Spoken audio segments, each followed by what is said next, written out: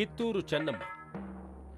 ಬ್ರಿಟಿಷರ ದಬ್ಬಾಳಿಕೆ ವಿರುದ್ಧ ಮೊಟ್ಟ ಮೊದಲ ಬಾರಿಗೆ ಸೆಡ್ಡು ಹೊಡೆದು ನಿಂತು ಹೋರಾಡಿದ ವೀರ ವನಿತೆ ಕಿತ್ತೂರು ಚೆನ್ನಮ್ಮ. ಚೆನ್ನಮ್ಮ ಹುಟ್ಟಿದ್ದು ಸಾವಿರದ ಏಳ್ನೂರ ಎಪ್ಪತ್ತೆಂಟರಲ್ಲಿ. ಬೆಳಗಾವಿಯಿಂದ ಆರು ಕಿಲೋಮೀಟರ್ ದೂರವಿರುವ ಕಾಕತಿಯಲ್ಲಿ.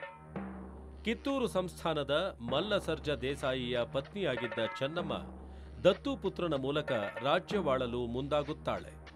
ಆದರೆ ಬ್ರಿಟಿಷರು ದತ್ತು ಮಕ್ಕಳಿಗೆ ಹಕ್ಕಿಲ್ಲ ಎನ್ನುವ ಕಾಯ್ದೆಯ ನೆಪವೊಡ್ಡಿ ಕಿತ್ತೂರನ್ನು ಕಂಪನಿ ಸರ್ಕಾರದ ವ್ಯಾಪ್ತಿಗೆ ಸೇರಿಸಿ ಕಪ್ಪ ನೀಡಬೇಕೆಂದು ಒತ್ತಾಯಿಸುತ್ತಾರೆ.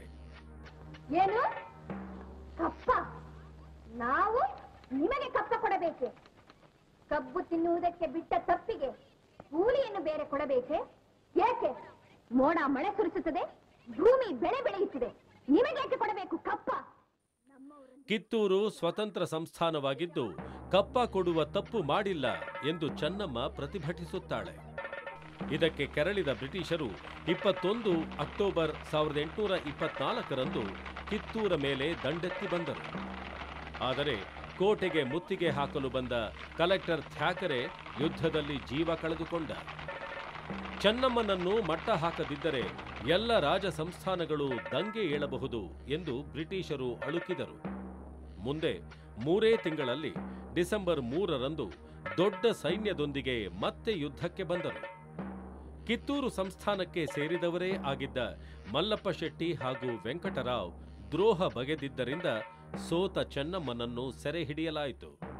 ಆಕೆಯನ್ನು ಬೈಲಹೊಂಗಲದ ಜೈಲಿನಲ್ಲಿಡಲಾಯಿತು. ತಾನು ಒಂದಲ್ಲ ಒಂದು ದಿನ ಬಿಡುಗಡೆಯಾಗುತ್ತೇನೆ ಎಂಬ ಆಕೆಯ ನಂಬಿಕೆ ತುಂಬ ದಿನ ಉಳಿಯಲಿಲ್ಲ. ನಿರಾಶಳಾದ ಚೆನ್ನಮ್ಮ ಸೆರೆಯಾದ ನಾಲ್ಕು ವರ್ಷಗಳ ನಂತರ, ಸಾವಿರದ ಎಂಟುನೂರ ಇಪ್ಪತ್ತೊಂಬತ್ತು ಫೆಬ್ರವರಿ ಎರಡರಂದು ಜೈಲಿನಲ್ಲೇ ಪ್ರಾಣ ಬಿಟ್ಟಳು. ಆದರೆ ಆಕೆ ಹೊತ್ತಿಸಿದ ಸ್ವಾತಂತ್ರ್ಯ ಜ್ಯೋತಿ ಸಾಯಲಿಲ್ಲ.